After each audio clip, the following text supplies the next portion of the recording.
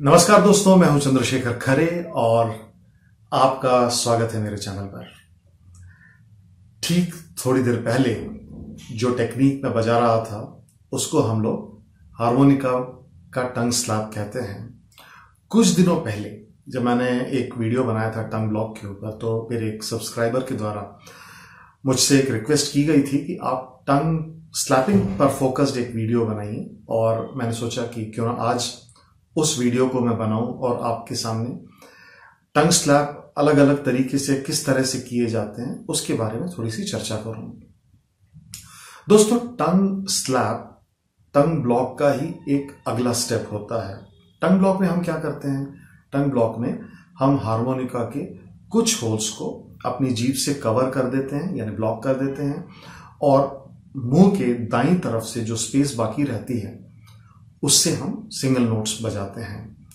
उसका एक दूसरा प्रकार होता है उसको हम ऑक्टेव प्लेइंग कहते हैं।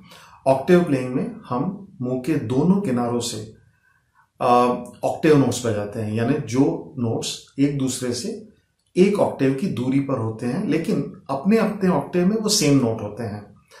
तो हम बीच वाले जो होल्स हैं, उनको कवर कर देते हैं, उनको ब्लॉक करके हम ऑक्टेव बजाते हैं। लेकिन जब इसी चीज़ को हम अपने टंग का रिदमिक तरीके से एक लयबद्ध तरीके से इस्तेमाल करते हुए ऑक्टेव प्लेइंग करते हैं और नोट्स को जो बीच के होल्स में रहते हैं, उनको ब्लॉक अनब्लॉक करते हैं ताकि एक तरह का कॉर्नल इफ़ेक्ट सुनाई दे तो हम उसको टंग स्लैप कहते हैं। अभी जो मैंने पीस बजाया था, वो फ़िल्म दोस्ती का है। इसमें एक बड़ा ही फ़ेमस गाना है, राही मनवा, दुख की चिंता क्यों सताती है? दुख तो अपना साथी है। तो इसमें जो हारमोनिका बजा है वो बड़ा पॉपुलर पीस हुआ करता था। पुरानी फ़िल्म है दोस्ती उसका ये गीत है। लेकिन हमारी फ़िल्मों में टंग स्लैप का यहीं पर इस्तेमाल सीमित नहीं रहा। बहुत सारे गाने बने जिसमें टंग स्लैप का इस्तेमाल करते हुए हारमोनिका बजाया गया। और उस साउंड की वजह से हारमोनिका की पॉपुलैरिटी हिंदुस्तान में बहुत बड़ी ऐसा मेरा मानना है। तो अब हम बात करते हैं कुछ आ, कुछ गानों की जिसमें टंग स्लैप का इस्तेमाल किया है और उसके माध्यम से मैं अलग अलग टंग स्लैप के प्रकार आपको डेमोन्स्ट्रेट करके बताऊँगा। तो एक तो ये गाना हुआ, राही मनवा दुख की चिंता क्यों सताती है? इसका ये इंटरलूड पीस है। एक बार फिर से आपके सामने बजाऊँगा।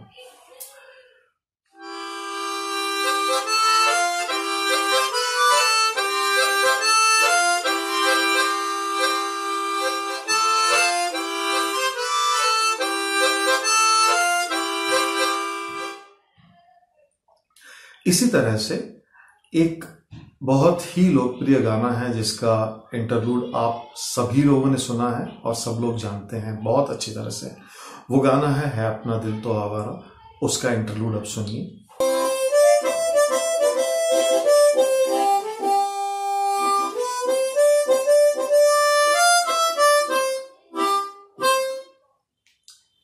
ये जो टंग स्लैप है, मैंने इसको थोड़ा अलग तरीके से बजाया है। इसको ऑक्टेव स्टाइल में नहीं बजाया है, क्योंकि मेरे हाथ में इस वक्त तीन ऑक्टेव का हारमोनिका है और जब मैं मिडिल ऑक्टेव में बजाता हूँ, तब सा से नीचे वाले नोट्स जब मैं लेने लगता हूँ तो लोअर ऑक्टेव से भी जो लोअर ऑक्टेव होता है, वो मुझे अवेलेबल नहीं होता। तो मुझे उस टंग स्लैप को बड़े लिमिटेड सुरों के साथ बजाना पड़ता है। एक और गीत आपने सुना होगा बाल गीत है, लकड़ी की काठी काठी पे घोड़ा। अब अगर इस गीत की बात करें तो इसमें भी इंटरलूड बजाया गया है टंग स्लैब्स के ज़रिए। तो वो भी सुनते हैं।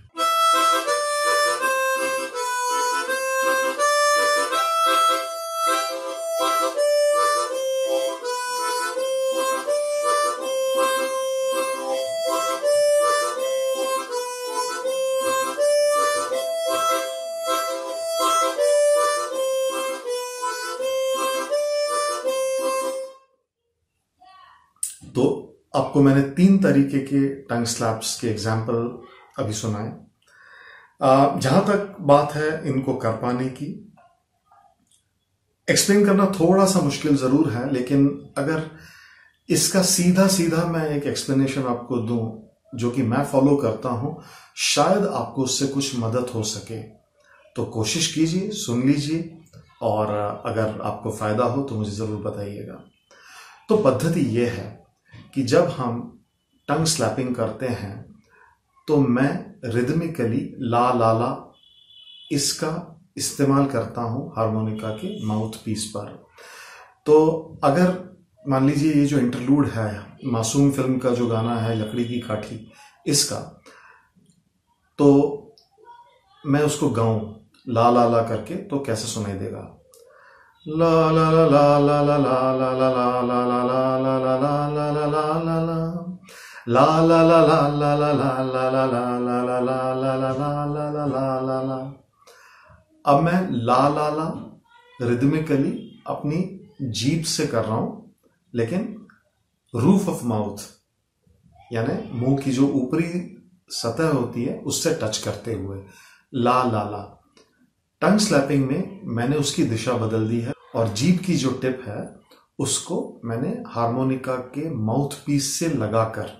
या उस पर स्लैप करके, उस पर प्रहार करते हुए मैंने उस चीज़ को बजाया और साथ में मेलोडिक पैटर्न फॉलो किया। उससे टंग स्लैप निकला।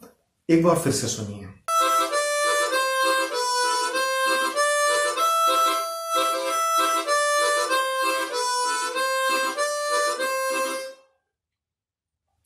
आपको थोड़ा तो समझ में आया होगा। थोड़ा मुश्किल है इनिशियली लेकिन कोशिश कीजिए कि अगर आप इस तरह से बजा रहे हैं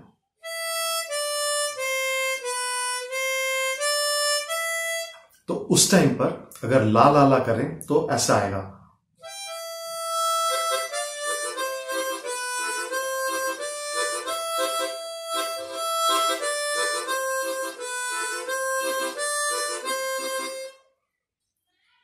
ऐसा बजाते टाइम कॉर्डल पैटर्न सुनाई दे रहा है।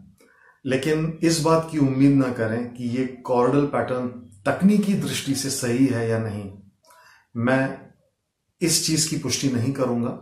ये तकनीकी दृष्टि से शायद गलत है या पूरी तरह से एक्यूरेट नहीं है।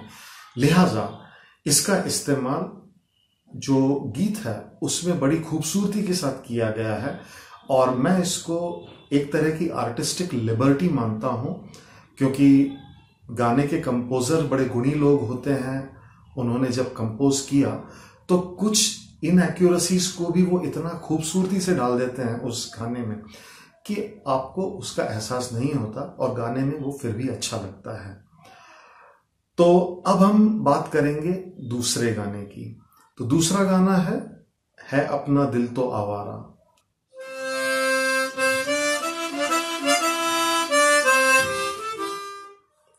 आ, मेरा मानना है कि शायद इस गाने में जिन्होंने हारमोनिका बजाया शायद फोर ऑक्टेव का हारमोनिका इस्तेमाल किया होगा ताकि उनको ऑक्टेव पूरा मिल पाए।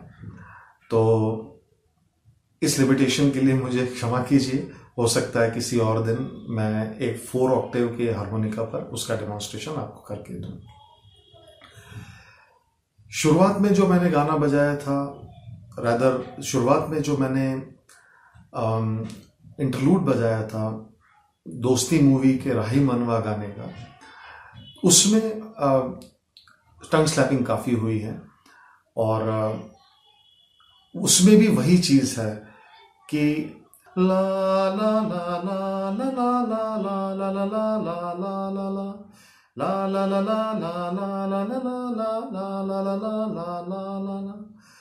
वही लाला का जो स्लैप है वो हम रूफ ऑफ़ माउथ की जगह माउथ पीस ऑफ़ हारमोनिका पर करते हैं और उससे हमको वो कॉर्डल इफ़ेक्ट मिलता है।